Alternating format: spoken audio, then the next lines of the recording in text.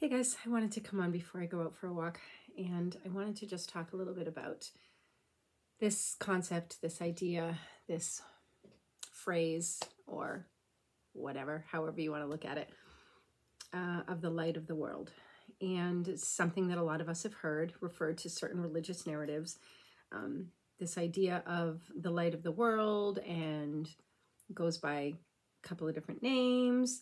And then there's other religions that don't align with that particular narrative per se, but yet they have their own perspective on the force or the source that is behind all of reality and its role.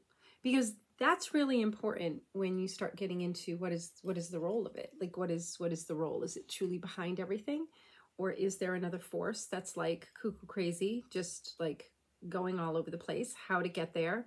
How? Why? Who allowed it? What allowed it? Like it gets into this really, uh, you know, really, really dark space and it can take you down many, many, many rabbit holes. There is this concept of the light of the world. And I wanted to just share a little bit about some experiences that I've had with this concept, with this term. And I've talked in other videos quite a bit actually about when I was a child and how I knew that the religious narrative was false and I knew that it was a fraud. And I used to get in trouble for saying so in CCD. I just knew, you know, I absolutely knew. And I always had this deeper sense that it was all completely backwards, that it was reversed, upside down, inside out. It was completely not just wrong, that it was completely uh, twisted. So the light of the world is not outside of us. It is not a being outside of us that we have to accept in us. The light of the world's already in us. It's already within us. This is very ancient. This is an ancient, ancient concept. It's just, I was a child, so I had no idea of these ancient concepts. This was just my own internal knowing. And when they would talk about, you know, God and, you know, and I'm like, huh, that's, that's, that's not my God. Like I can tell you straight up that that is not what I come from and that is not where I come from. And again, I always knew it and I was very, very sure of it. Like to the point, I, I mean, to the point of crazy sure. And then of course, life, you grow up, you get older, whatever. And, uh, you know, you try to just muddle through and deal with all of this because you just don't understand. But what I found really fascinating is that I've had several experiences in my life that have completely validated this knowing that I have for me, where it has revealed itself to me. And I've talked about this in other videos as well. I've talked about my own experience that I've had. Some would call it an out of body experience or um, you know, I don't know. I don't know what you would call it. Um, one of them was a legit near-death experience, which is which is nothing like what most people claim. There was no afterlife. There were no loved ones. There was no bright light. There was none of that. None of that. I was the light in the abyss. And it was this moment of instant all knowing all connected, everything and anything all morphed together. I, I, I, I can't even explain it. There actually are no words to define that experience that I had. And it was absolutely life-changing for me, even though my being knew it all along. It just, when you have this experience, it's really brings it into a different space for you and that happened when um, when I was really really struggling with my with the chemical pneumonia and the COPD and I had had a severe episode where I completely tapped out of my body. Um, and I've talked about that in another video. And what I knew in that moment was that I was I was returning back here and I wasn't done. I was not done and I was not leaving. I was not leaving this physical avatar yet. There's there was no way um, and and I've had other experiences of that as well. So this is this wasn't the only experience. It was just one of them. Because I I literally was not breathing. I'm not breathing and I completely passed out. And I've had other experiences, but I was not not breathing. I, I was I was breathing. Um and just having that experience. And then I had a dream once about my dad, which I've talked about this, where there was a huge earthquake and everything opened up and everything got was getting sucked into the earth and then I opened my eyes and I was, it appeared to me kind of like this mountainside or this hillside. And I was there with my dad. And there was this incredibly bright light that had this most incredible, again, undefinable feeling that, that all was just, just light and love. And, and I say light loosely. Okay. But I do mean a physical light. Like I do, I really mean a physical light even though that's probably just the way that I perceive it, you know, whether that physical light exists or not, I don't really know. But um, it was this this incredibly bright light, and my dad was there, and I kept saying to him, "Don't you see it? Don't you see it? Don't you see it?" And he was like, "See what?" And what was interesting is that there were other people in that dream as well. It was like one person trying to show the other person the light. Like it was almost like the person who couldn't see it was there with somebody who did and they were like helping them, helping them to see it, helping them to feel it. And that was really interesting. And that, again, that was another experience that marked me a lot in that uh, that was that was over 25 years ago or maybe 20 years ago yeah maybe 20 years ago over 20 years ago and again very very interesting that i have always carried this idea that we are the light like we are the light and we are part of this light. We are part of this unfathomable force that is about light and love and pureness. And I don't know how the nefarious forces spin off from that and become part of reality and experiences. I don't really know that. Um, but I know that we are having these experiences as light beings coming into these avatars. Okay. And you know, the avatars are important to the degree that it houses us while we're here. Like this is our this is our vehicle while we are on this planet. And because our body, you know, is made up of things of the earth, it is what it is what grounds us to this planet, which is why the agenda is to synthetically alter us and to create digital cyborgs, robots, okay, instead of real humans.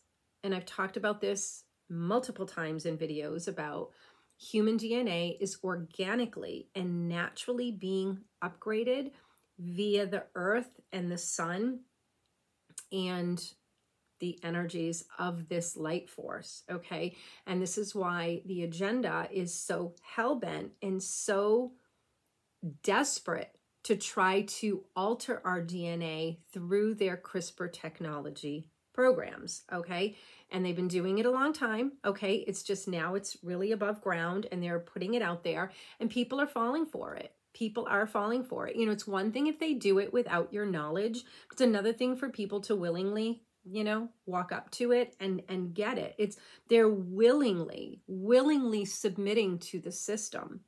Now some you know could argue well you know they're ignorant it's because they don't know and to that i would agree. Yes they are ignorant and they don't know.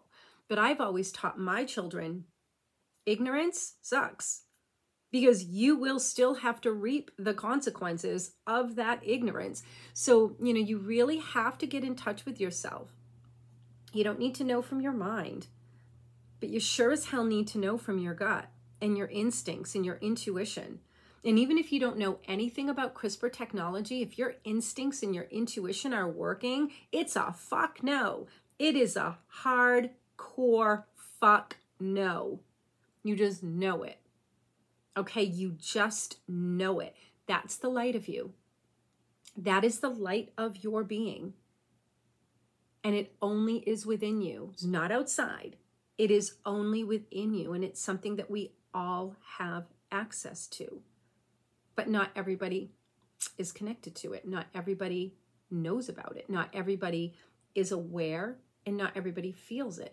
I just happen to have felt my intuition since I was a very, very, very young child. It's always been very active in me. Does it mean it's always worked 100%? No, I'm part of this matrix just like everybody else, but it's worked really well. And it's really helped me to navigate through a lot of shit. And now that all of this stuff is coming down, you know, it's like I'm I'm seeing things so much more clearly around me. And you know, one of the things that I used to feel was part of why I came was to kind of like help wake people up. And now I realize that that may be partially true, but it's because of my being. It's not because of stuff I say or do or whatever. It's just because of my being. Because you can't wake people up with words. You can't wake people up with with you know trying to help them it just it doesn't work that way and i've had my head smashed into the cement wall many many many times discovering this. And it was through the whole uh, last five years or so that I really discovered very powerfully and very strongly that you cannot wake people up. We, we, we do not have that power to wake people up. That is an inside job. But what we can do is we can just continue to be us to speak our truth, to shine our light, to to be in that person's presence but still holding and maintaining our authenticity and our integrity without pretending, without allowing ourselves to shrink, without allowing ourselves to go dim. Now that doesn't mean we have to be, you know, you know, so in their face that they're, you know, no, that you don't need to do that. You just you just need to to calmly and peaceably be you. And I've learned that I can speak my truth in a way without trying to convince, without trying to, you know, I just just speak my truth. And I've talked about this in a video a little while ago how uh, there's two people in my neighborhood. Actually, it's it's up a little bit, so it's not like my direct neighborhood, but it's like right over there and I've met two people recently from that neighborhood, and both of these people, I decided to just truly and completely be honest. And um, every question that they asked me, I would answer honestly, and I wouldn't hold back. and so I did it. And interestingly enough, one woman um, has made no effort or no attempt to stay in my life. And the other woman has actually made a very strong attempt to stay in my life to the point where she saw me walking because uh, I walk a lot, and she saw me walking past her house one day, and she literally came over and was like, "Hey, come over here," and um, basically invited me into her life, into her into her space, and made it clear to me that that she wanted a relationship with me. And again, this is where it really it really starts to get intense now because being truthful and honest, we are going to lose we're going to lose people we're going to have people that are going to be like, you're a freak and I want nothing to do with you, or you're just too much for me, or whatever. But then you're going to get people that are really ready because these are people that are waking up. These are people that are really in touch with themselves and they're starting to come alive and, you know, they're, they're feeling your energy and it's palpable for them. And they want that in their life because it helps remind them that, that they, they have this too so this is this is where it's going. And I mean, she's been an incredible benefit in my own life too. I don't mean to say that. It's a mutual. It is absolutely mutual. I don't mean to say that, you know, I'm here to like mm, that's not what I'm saying. But I'm just saying that because I am so honest and truthful and authentic that people really feel that. And some people don't like it. And some people really like it. So it's important that we that we honor that authentic place within us. And I've noticed, you know, I've always noticed it in my life, but I've noticed it even more recently is, you know, the the moving away of certain people and the moving in of others and you know some people that were in are now out and some people you know that were out are now in and it's just very interesting how life moves you around based on how authentic are you being with yourself. And that's you know that's something that really has like knocked me in the head recently is that our life is really a reflection of how authentic we are. How authentic are we? How authentic are we? And that's, you know, it doesn't mean bad shit's not going to happen. It doesn't mean that, you know, we're always going to be in like this state of bliss or whatever. I mean, that's just fantasy land and that's just not earth reality. It's just not how it operates. But when you are really, really authentic, your life is completely different. And I am talking radically and completely different than when you're not authentic or when you're only authentic some of the time with some people because you think they can handle it. But when you are authentic all the time, your life really changes. It really does. And it's really just simple to see why, right? It's simple to see why. You meet someone, you speak your truth. That's going to go one of two ways. They're going to be like, I need to get away from this person. I want more of this person in my life, or it's just kind of neutral because they're just they're just kind of flatlined and they're just like, mm, mm, mm, you know, whatever. So again, it's very, very interesting. And I've talked about how me deciding to be really authentic with somebody that I met quite a few years ago, two years ago now, maybe even three, I don't know, time's flying. And I decided to just be completely honest and authentic. And she has remained in my life and is now, you know, I consider her one of my best friends. And it's really interesting because had I had not done that, I don't know that that would have happened. So again, I, you know, life is really, really interesting. But again, I did want to just mention this whole concept of light of the world. We are the light. We are lighting this world up. And not everybody wants that light. Not everybody wants it, feels it, feels connected to it. Some people are so inundated with this this nefarious force that they've already been overtaken by it. And we're not saving them. Okay? We're not going to save them. And what do they need to be saved from anyway? Most people moving in that direction like it. They like it. They want it. They they're going for it. They're willingly complying. Okay, so we cannot feel sorry for them. We cannot feel bad. It was not to say that we can't have compassion because they don't know about their own inner light, but you know, they're choosing it. And we, you know, there's nothing that we are capable of doing to get them to want what we want. And that was probably the hardest lesson of my life is to understand that most people don't want what I want. They just don't want it. And this is why I've always said, you know, how can we share a world with people who want completely opposite things? Because what happens? Does the majority rule? Does the majority get what they want? So the majority of people that want what we don't want, they get what they want, but we don't get what we want. How does that work? How does that factor in? So it occurred to me many, many years ago when I had an experience that that anchored me into my being is that we are going to get a chance to get what we want and we are going to get a chance to live in a reality that matches us that matches the light of our being the authenticity of our being and others who share that and i'm not saying it will be utopia because that's that doesn't exist that's part of that's part of the agenda that somehow we're going to create utopia for everybody in these smart cities, right? It doesn't exist.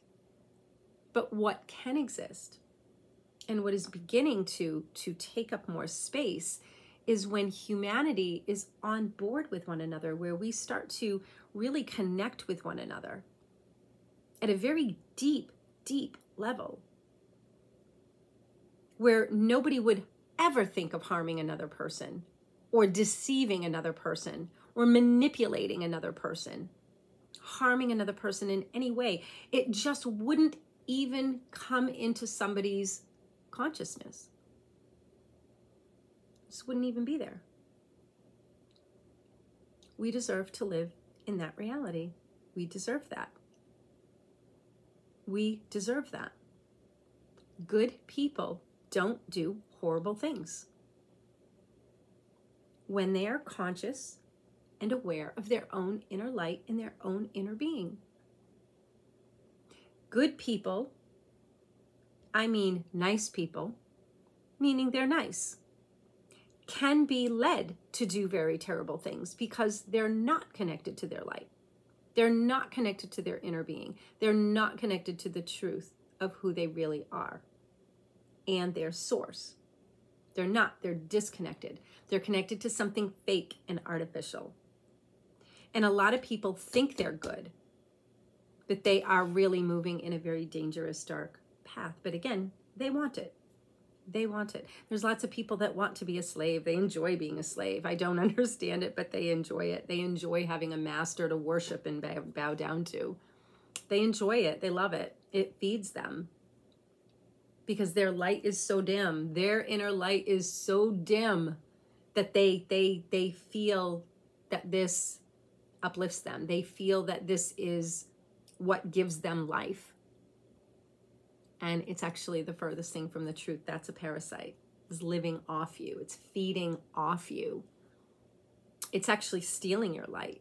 The part of your light that you don't you don't even know exists, you don't pay attention to. But this force knows it. And this force comes in and starts to harvest your light.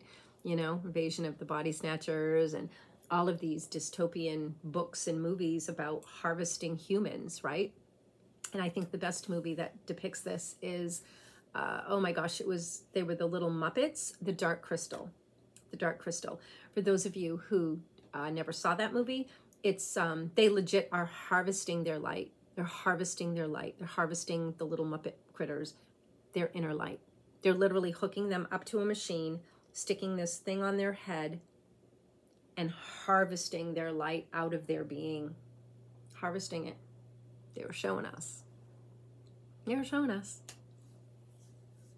Like, it's so in our face. It's so in our face. And there's actually been a lot of movies that have been showing us all along what they're doing. And people are just not connected enough to see it. Whereas I'm that person who, you know, my kids are watching the movie and I'm like, I'm like, why am I letting my kid watch this movie? Like, why? But of course, it's a great teaching, uh, you know, because I don't know what the movie is when they watch it because I don't really pay attention to that stuff. But then I'm watching it and I'm like, oh my gosh. And of course, I'm talking to my kids about it. Like, you know, they're really doing this. You know, this is what they're really doing to humans.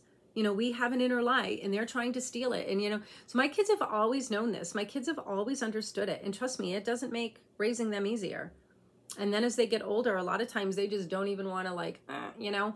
Um, but then they they come back to it. They come back to it. And i talk a lot about this stuff with my kids especially now because they're at that age where they're going to be having to make decisions for their own lives and you know they're really going to need to be connected to their inner light. And you know it's very very interesting. So i just wanted to mention quickly that it's no secret that you know really follow too many people. There's two people that I will listen to, and I don't take anything at you know at hundred percent face value. Um, you know, just because somebody that I like says something doesn't mean that I'm on board with it, right? There's there's some things that that these people say that I'm not necessarily aligned with. It just doesn't doesn't jive with me, and I don't I don't abandon that because I'm like, oh, I really like a lot of these things that you say. So therefore, everything you say must be true. No, they're still human vehicles. Okay, they're still in an avatar, and even though they might be bringing in this information that is is helping me to kind of expand my own awareness it doesn't mean that everything that they are pulling in or everything that they're filtering through and and putting out there is completely accurate for me. Okay so we need to remember that that you know we don't want to we don't want to get caught up in thinking that somebody's got your story all together no nobody has your story. Only you have your story. And there's certain people that can help share information with us that helps kind of nip and tuck it for us and help us to feel more confident more validated more alive. But we should never ever substitute their thoughts, ideas, beliefs, whatever about things for our own. And again, I'm always willing to hold things. Like, yeah, that's not vibing with me, but I'm going to hold it. I'm going to hold it because maybe I'm wrong. But usually I'm not. Usually, as time goes by, I see that that what I hold, I hold for a reason.